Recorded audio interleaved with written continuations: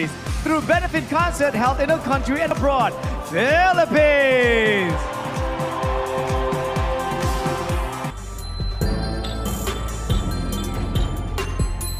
Philippines. Philippines proudly raised funds to purchase and renovate an old apartment building in Manila.